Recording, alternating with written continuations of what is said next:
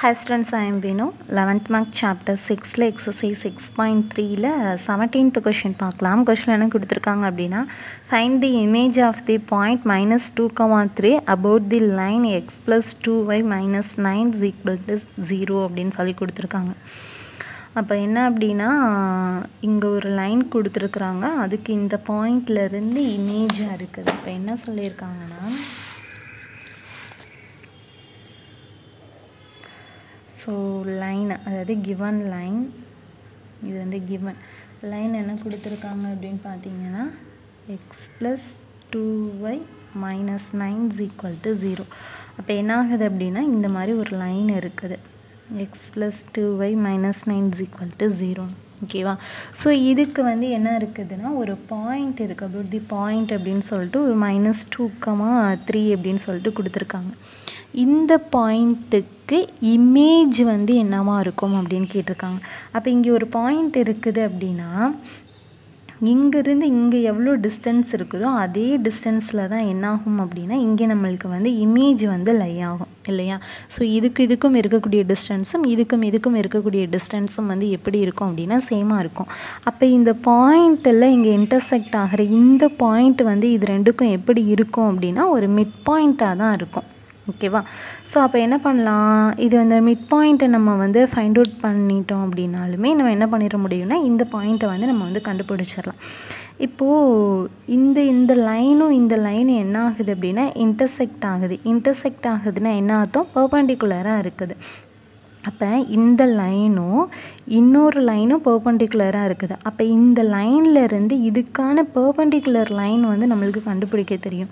எப்படி கண்டுபிடிப்போம் அப்படின்னு பார்த்தீங்கன்னா பர்பண்டிகுலர் லைன் எக்ஸு ஒய் இந்த எக்ஸ் ஒய் வந்து என்ன பண்ணுவோம்? எக்ஸையும் ஒய்யையும் போட்டு இதோட கோஎஃபிஷியண்ட்டை என்ன பண்ணுவோம்னா இன்டர்சேஞ்ச் பண்ணுவோமா?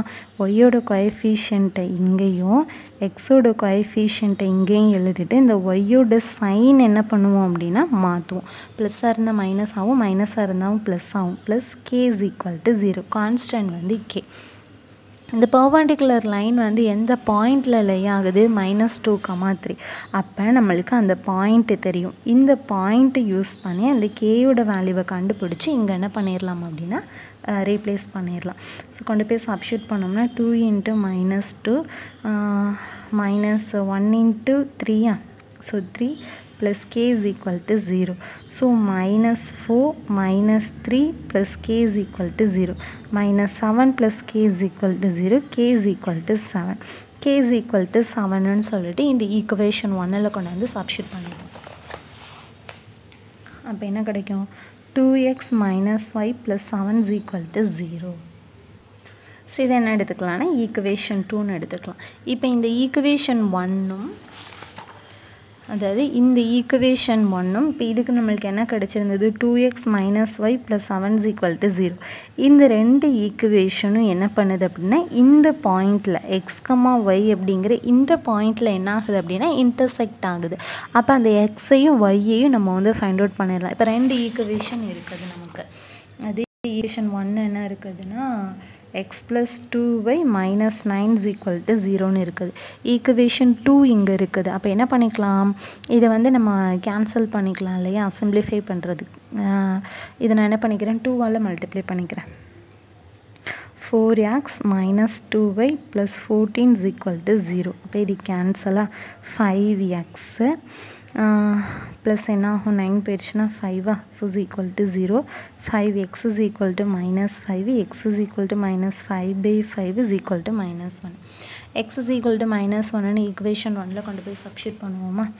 ஈக்குவேஷன் ஒன்னில் சப்ஷூட் பண்ணோன்னா minus one plus two y two into y minus nine is equal to zero இப்போ என்ன ஆகும்? Minus டென்னா two y minus ten is equal to zero two y is equal to டென்னு அப்போ y is equal to ten by டூனா y is equal to five அப்போ நம்மளுக்கு அந்த point நம்மளுக்கு என்ன கிடச்சிருக்குது அப்படின்னு பார்த்தீங்கன்னா மைனஸ் ஒன் கமா ஃபைவ் எந்த பாயிண்ட்டு இந்த பாயிண்ட் இந்த பாயிண்ட் என்ன கிடச்சிருக்குது minus one comma five so இப்போ பாருங்கள் இந்த பாயிண்ட்டோட இமேஜ் வந்து இது ஓகேவா இந்த ரெண்டு பாயிண்ட்டுக்குமான மிட் பாயிண்ட் வந்து என்ன கிடச்சிருக்குதுன்னா மைனஸ் ஒன் கமா ஃபைவ் அப்போது மிட் பாயிண்ட் ஃபார்முலாவை யூஸ் பண்ணி இதோட இமேஜ் இந்த ஹச்ஐயும் கேயும் வந்து நம்ம கண்டுபிடிச்சிடலாம். எப்படின்னா நம்மளுக்கு இது வந்து என்னென்னா mid point so mid point தான் நம்மளுக்கு என்ன அப்படின்னா minus one comma five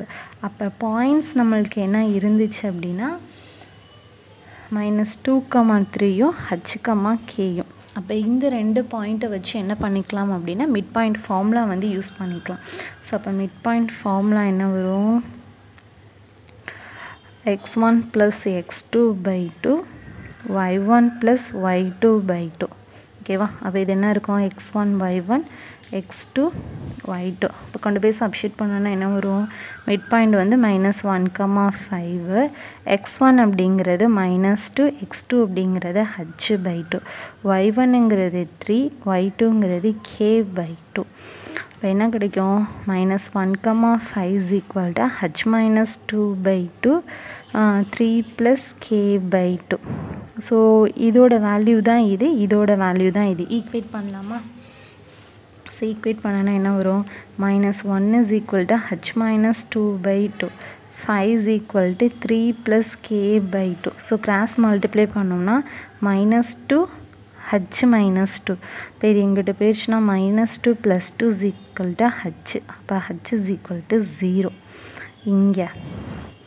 five two ஜார் டென்னு த்ரீ ப்ளஸ் கே இப்போ இது எங்கிட்ட போயிடுச்சுன்னா ten minus three is equal to k k is equal to seven ஓகேவா அப்போ நம்மளுக்கு ஹச்சுக்கே அப்படின்னு சொல்லிட்டு நம்மளுக்கு என்ன கிடச்சிருக்குது அப்படின்னா ஜீரோ கமா செவன் அந்த ஹச்சுக்கேவை தான் நம்ம என்னவா எடுத்திருந்தோம் அப்படின்னா இமேஜாக வந்து எடுத்திருந்தோம். அப்போ என்ன எடுத்துக்கலாம்? Zero comma seven is the